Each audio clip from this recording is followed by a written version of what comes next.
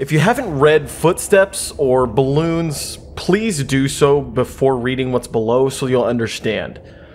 For those of you who have read my other stories and asked if there was more and received cryptic answers from me, I want to apologize for being dishonest. I said several times in the comments that nothing really happened after Footsteps, but that wasn't true. The events of the following story weren't locked away in the recesses of my mind. I've always remembered them. It wasn't until I remembered balloons and spoke with my mother about the following events that I realized how intertwined this story was with everything else. But I originally hadn't really planned on sharing this, anyways.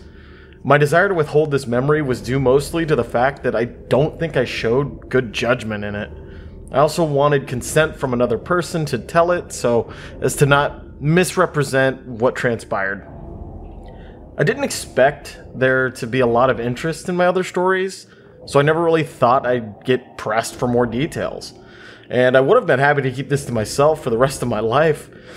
I haven't been able to reach the other party, but I would feel disingenuous withholding this story from those who wanted more information now that I've spoken with my mother and another connecting line has been drawn.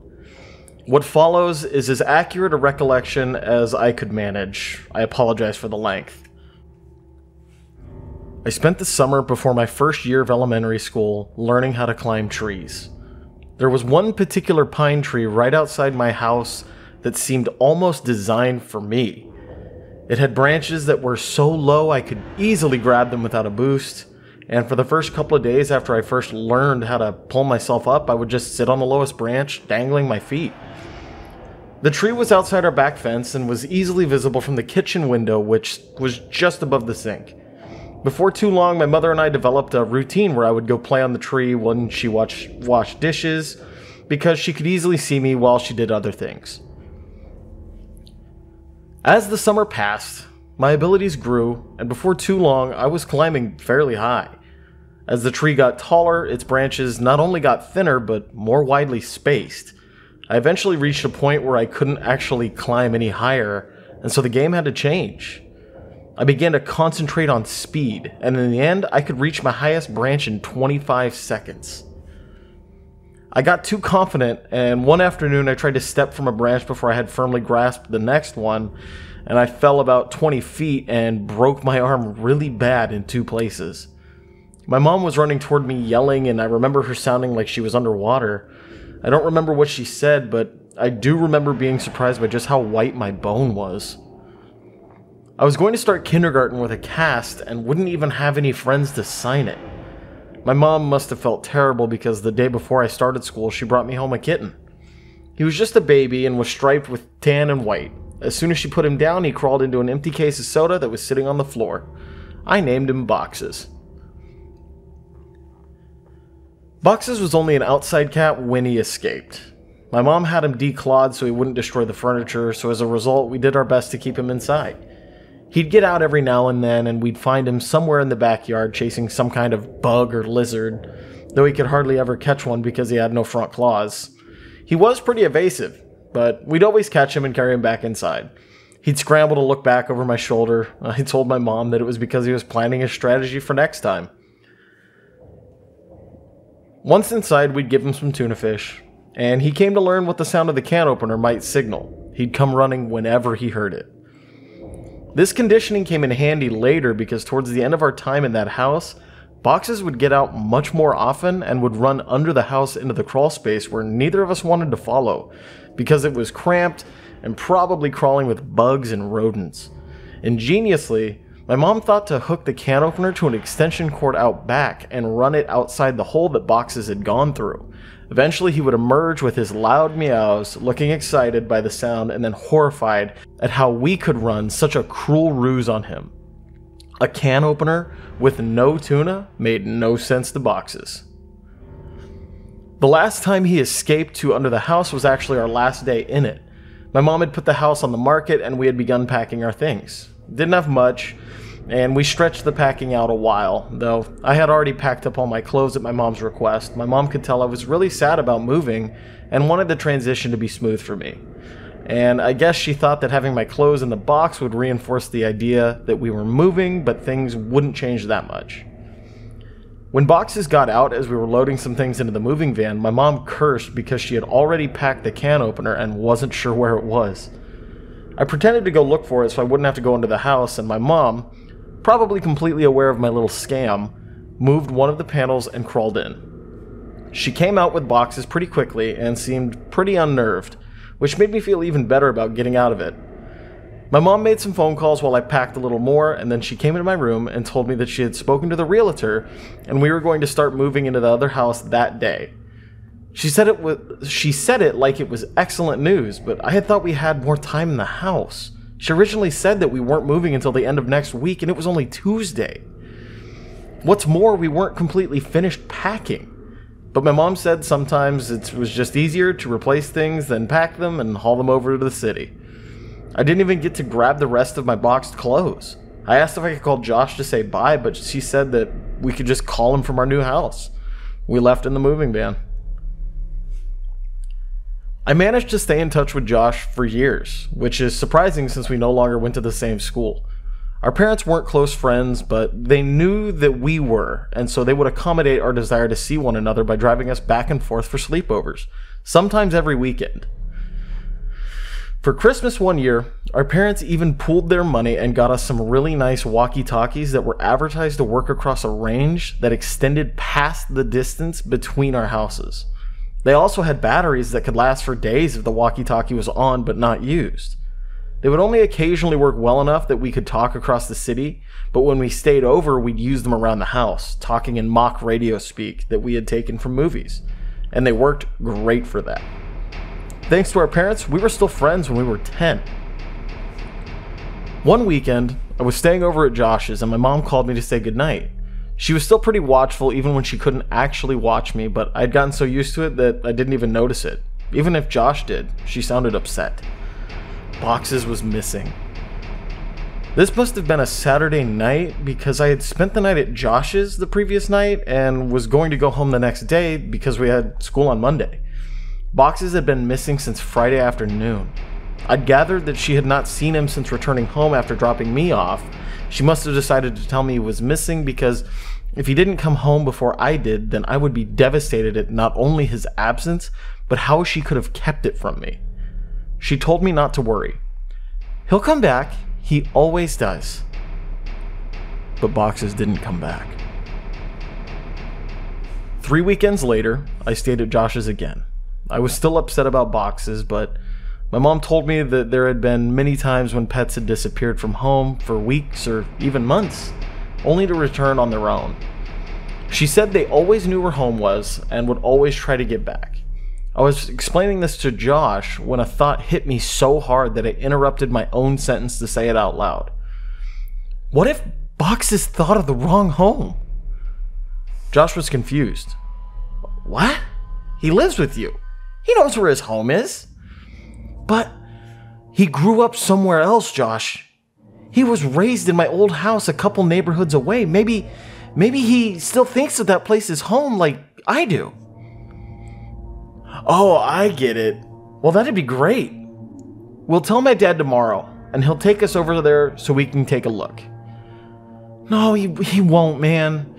My mom said that we couldn't ever go back to that place because the new owners wouldn't want to be bothered. She said that she told your mom and dad the same thing. Josh persisted. Okay, then we'll just go out exploring tomorrow and make our way to your old house. No! If we get spotted, your dad will find out, and then so will my mom. We have to go there ourselves. We have to go there tonight.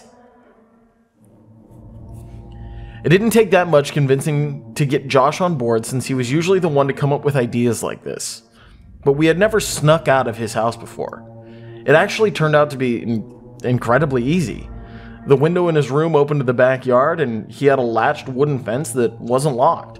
After those two minor hurdles, we slipped off into the night, flashlight and walkie talkies in hand. There were two ways to get from Josh's house to my old house. We could walk on the street and make all the turns, or go through the woods, which would take about half the time. It would have taken about two hours to walk there taking the street, but I suggested that we go that way anyway. I told him it was because I didn't want to get lost. Josh refused and said that if we were seen, they might recognize him and tell his dad. He threatened to go home if we didn't just take the shortcut. And I accepted it because I didn't want to go by myself. Josh didn't know about the last time I walked through these woods at night. The woods were much less creepy with a friend and a flashlight, and we were making pretty good time. I wasn't entirely sure where we were, but Josh seemed confident enough, and that bolstered my morale. We passed through a particularly thick patch of tangled trees when the strap on my walkie talkie got caught on a branch. Josh had the flashlight, and so I was struggling to get the walkie talkie free when I heard Josh say, Hey man, wanna go for a swim? I looked over to where he was shining the flashlight, though I closed my eyes as I did because I now knew where we were. He was pointing at the pool float. This is where I had woken up in these woods all those years ago. I felt a lump in my throat and the sting of fresh tears in my eyes as I continued to struggle with the walkie talkie. Frustrated, I yanked on it hard enough to break it free, and I turned and walked to Josh, who had partially laid down on the pool float in a mock sunbathing pose. As I walked towards him, I stumbled and nearly fell into a fairly large hole that was sitting in the middle of this small clearing. But I regained my balance and stopped right at its edge. It was deep. I was surprised by the size of the hole, but more surprised by the fact that I didn't remember it. I realized it must not have been there that night because it was in the same spot where I had awoken. I put it out of my mind and turned to Josh. Quit messing around, man. You saw I was stuck over there and you were just laying here joking around on this float. I punctuated the sentence with a kick to an exposed part of the float. A screeching rose from it. Josh's smile inverted. He suddenly looked terrified and was struggling to get off the float, but he couldn't in a quick manner due to the awkward way he had been laying on it. Each time he would fall back on the float, the screeching would intensify. I wanted to help Josh, but I couldn't move myself any closer. My legs wouldn't cooperate. I hated these woods. I picked up the flashlight that he had thrown in his thrashing and shined in on the float, not knowing what to expect. Finally, Josh got off the float and rushed next to me, looking at where I was shining the light. Suddenly, there it was. It was a rat. I started laughing nervously, and we both watched the rat run into the woods, taking the screeches with it. Josh lightly punched me in the arm, the smile slowly returning to his face, and we continued walking. We quickened our pace and made it out of the woods faster than we thought we would, and we found ourselves back in my old neighborhood. The last time I had rounded the bend ahead, I had seen my house fully illuminated, and all the memories of what transpired came flooding back. I felt a skipping in my heart as we were finally turning the corner and about to face the full view of my house, remembering last time how incandescent it was. But this time, all the lights were off. From a distance, I could see my old climbing tree, and as my mind traced the steps of causality backward, I realized that I wouldn't be back here this night if that tree hadn't grown, and I was briefly in awe of how all events were like that. As we got closer, I could see that the lawn looked terrible. I couldn't even guess when it had last been mowed. One of the shutters had partially broken loose and was rocking back and forth in the breeze, and over all the house just looked dirty. I was sad to see my old home in such a state of disrepair. Why would my mom care if we bothered the new owners if they cared so little about where they lived? And then I realized there were no new owners. The house was abandoned, though it looked simply forsaken. Why would my mom lie to me about our house having new people in it? But I thought that this was actually a good thing it would be easier to look around for boxes if we didn't have to worry about being spotted by the new family. This would make it much quicker. Josh interrupted my thoughts as we walked through the gate and up to the house itself. Your old house sucks, dude. Josh yelled as quietly as he could. Shut up, Josh. Even like this, it's still nicer than your house. Hey, man. Okay, okay. I think boxes is probably under the house. One of us has to go under and look, but the other should stay next to the opening in case he comes running out. Are you serious? There's no way I'm going under there. It's your cat, man. You do it. Look, I'll game you for it, unless you're too scared. I said, holding my fist over my upturned palm. Fine, but we go on shoot. Not on three. It's rock, paper, scissors, shoot. Not one, two, three. I know how to play the game, Josh. You're the one who always messes up, and it's just two out of three. I lost. I wiggled loose the panel that my mom would always move when she had to crawl under here for boxes. She only had to do it a couple of times since the can opener trick usually worked. But when she had to do it, she hated it, especially that last time. And as I looked into the darkness of the crawl space, I had a greater appreciation for why. Before we moved, she said that it was actually better that boxes ran under here, despite how hard it could be to get him out. It was less dangerous than him jumping over the fence and running around the neighborhood. All that was true, but I was still dreading doing this. I grabbed the flashlight and then the walkie and began to crawl in. A powerful smell overtook me. It smelled like death. I turned on my walkie talkie. Josh, are you there? This is Macho Man, come back. Josh, cut it out. There's something wrong down here. What do you mean? It, it stinks. It, smells like something died. Is it boxes? Uh, I really hope not. I set down the walkie and moved the flashlight around as I crawled forward. Looking through the hole from the outside, you could see all the way back with the right lighting, but you had to be inside to see around the support blocks that held the house up. I'd say that there was about a 40% of the area that you couldn't see unless you were actually in the crawl space. But even inside, I discovered that I could only see directly where the flashlight was pointing. I realized that this would make scouting around the place much more difficult.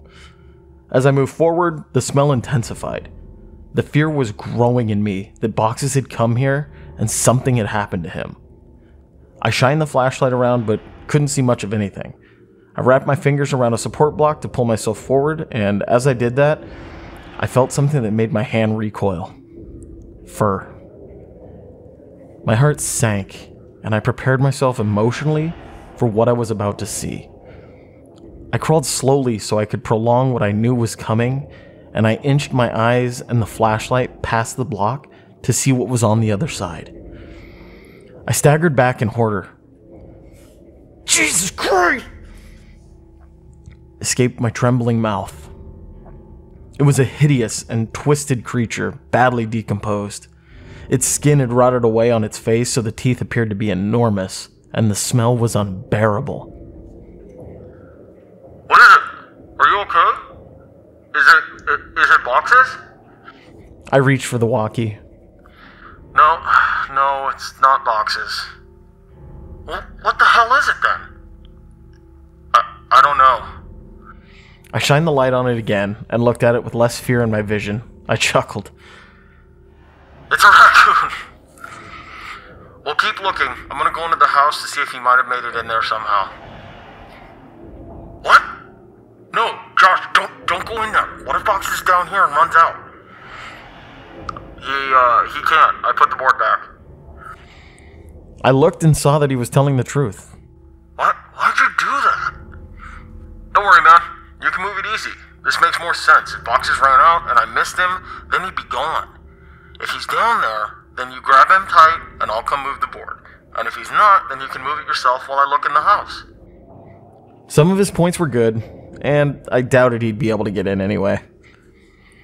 Okay, but be careful and don't touch anything. There's a bunch of old clothes still in boxes in my room. You can look in there to see if he crawled in one, and make sure to bring your walkie. Roger that, good buddy. I realized that it would be pitch black in there. The power would have had to have been turned off since no one was paying the bill. With any luck, he'd be able to see from the street lights that might cast some light inside. Otherwise, I'm not sure what he'd do. Before too long, I heard footsteps right over my head and felt old dirt raining down on me. Josh, is, is that you? Broker, broker, this is Macho Man coming back for the Big Tango Foxtrot.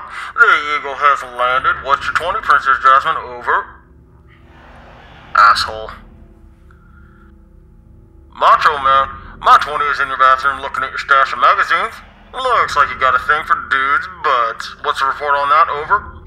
I could hear him laughing without the walkie, and I started laughing too. I heard the footsteps fade away a little. He was on his way to my room. Man, it's it's dark in here. Hey, are you sure you had boxes of clothes in here? I, I don't see any.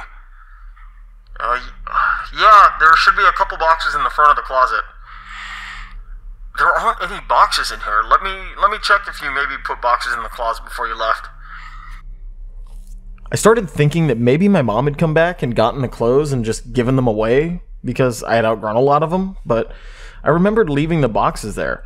Didn't even have time to close the last one up before we left. While I was waiting for Josh to tell me what he found, I kicked out my leg, which had started to fall asleep because of the position I was in, and it hit something. I looked back and saw something really strange. It was a blanket, and all around it there were bowls.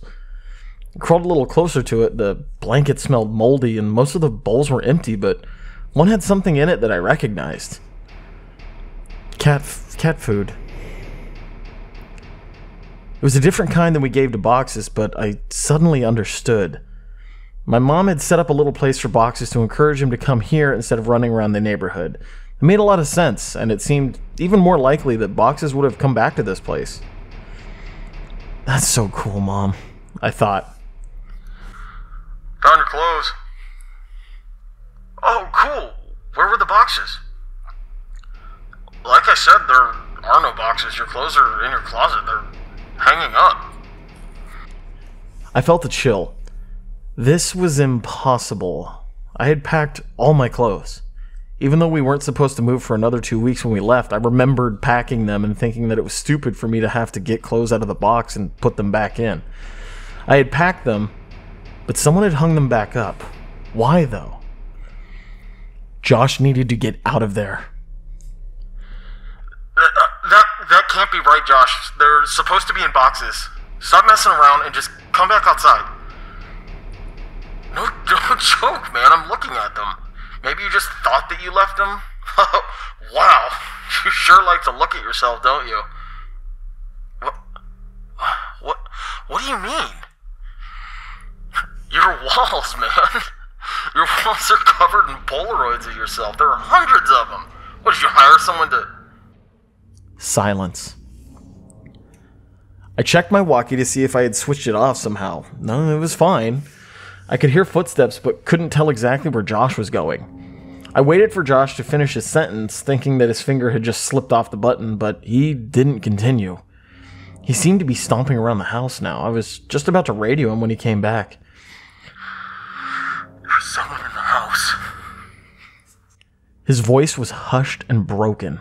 I could hear he was on the verge of tears. I wanted to respond, but how loud was his walkie turned up? What if the other person heard it? I said nothing and just waited and listened. What I heard were footsteps, heavy, dragging footsteps, and then a loud thud. Oh, God. Josh. He had been found. I was sure of it. This person had found him and was hurting him. I broke out in tears. He was my only friend next to boxes. And then I realized what if Josh told him I was under there? What could I possibly do? As I struggled to compose myself, I thankfully heard Josh's voice through the walkie. He's got something, man. It, it, it's a big bag. He just threw it on the floor and. Oh god, man, the, ba- the bag, I think it just moved. I was paralyzed. I wanted to run home. I, I wanted to save Josh. I wanted to go for help. I wanted so many things, but I just lay there, frozen. As I lay unable to move, my eyes focused on the corner of the house that was right under my room. I moved my flashlight. My breath hitched at what I saw. Animals, just dozens of them, all of them dead. They lay in piles all around the perimeter of the crawl space. Could boxes be among these corpses? Was this what that cat food was for? Seeing this broke my shock as I knew I had to get out of there and I scrambled to the board. I pushed on it, but it, it wouldn't budge. I couldn't move it because it was wedged in there and I couldn't get my fingers around it since the edges were outside. I was trapped. God, God damn you, Josh. I whispered to myself. I could feel thunderous footsteps above me. The house was shaking. I heard Josh scream, and it was matched by another scream that wasn't full of fear. As I continued pushing, I felt the board move, but I knew it wasn't me who was moving it. I could hear footsteps above me and in front of me, and shouting and screaming filling the brief silences between the footsteps. I moved back and held my walkie ready to try to defend myself, and the board was thrown to the side and arm shot in and grabbed for me. Let's go, man, now! It was Josh. Thank God. I scrambled out of the opening holding the flashlight and the walkie. When we got to the fence, we both jumped it, but Josh's walkie fell. He reached for it, and I told him to forget it. We had to move. Behind us, I could hear yelling, though they weren't words, only sounds, and we, perhaps foolishly, ran for the woods to get back to Josh's quicker and be somewhat harder to follow. The whole way through the woods, Josh kept yelling, My picture! He, he took my picture! But I knew the man already had Josh's picture from all those years ago at the ditch. I supposed Josh still thought those mechanical sounds were from a robot. We made it back to Josh's house and back into his room before his parents woke up. I asked him about the big bag and if it really moved, and he said he couldn't be sure. He kept apologizing about dropping the walkie at the house, but obviously that wasn't a big deal. We didn't go to sleep and sat peering out the window waiting for him.